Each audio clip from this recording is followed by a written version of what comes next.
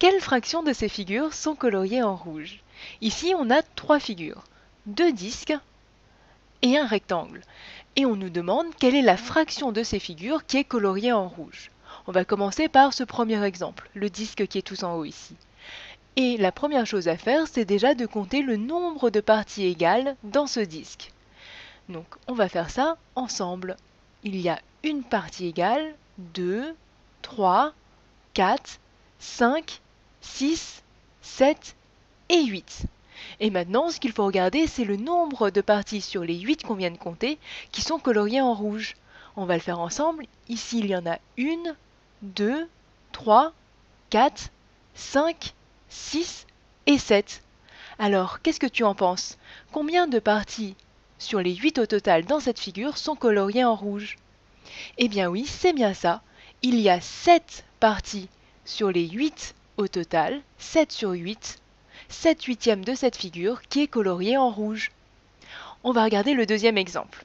Donc, comme pour le disque, on va d'abord compter le nombre de parties égales dans ce rectangle.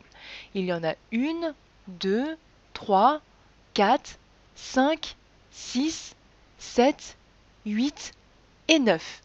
Et maintenant, on va compter le nombre de parties sur ces 9 qui sont coloriées en rouge.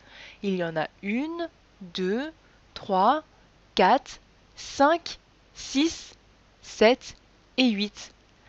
Alors, qu'en penses-tu? Quelle est la fraction de ce rectangle qui est colorié en rouge? Eh bien oui, c'est bien ça.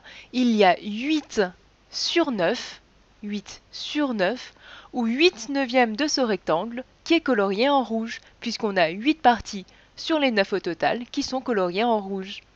Passons au dernier exemple. Donc on va compter le nombre de parties égales dans ce disque.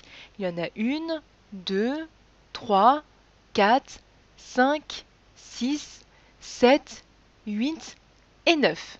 Et maintenant, on va compter le nombre de parties coloriées en rouge.